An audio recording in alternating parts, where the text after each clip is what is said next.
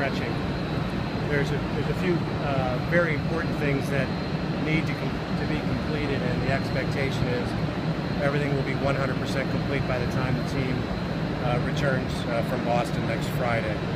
So the most important thing is the field itself. What's, what's happening behind me is the, uh, the final uh, field markings are being sewn into the turf. So when you look at them out there, they're putting in the yard markers is, is what they're doing. Once that is complete, which we expect to, uh, to be done in the next 24 hours, uh, then the process of, of dressing the, the, the, field with the small rubber pellets that you're familiar with with uh, indoor fields.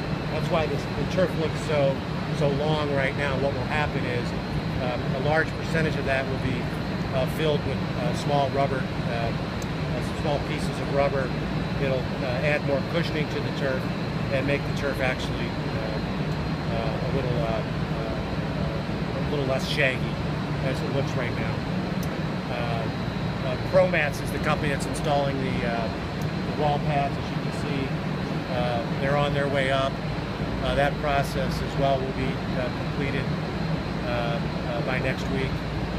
And the third most important thing that's still underway is a company by the name of 8K is installing cameras, five different cameras throughout the facility that will actually allow for the taping of practice and other activities that are going on here. And that, uh, that uh, camera system will be hardwired back to our, to our film department.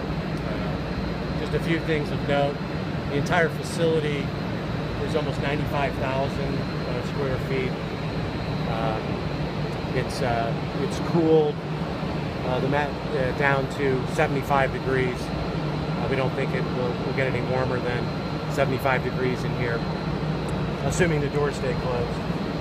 And one of the other features of this is there are massive uh, doors on each side of the facility that open. So if you look over to my left. Uh, those are massive airline piers that actually open uh, from about the 30 yard line to the 30 yard line. And there's a second large door, which is in the center, which actually forms the backdrop of the uh, stage at Daily's Place, uh, which would allow us uh, to have a, per, a, performance with the band turned into the facility. We put an extension on the stage and literally could have a concert uh, in here uh, with general admission uh, seating. We don't expect that to happen uh, very frequently, uh, but are excited about where we are. Obviously, the structure itself has been done for several months. Uh, what has taken the time is the final wall pieces.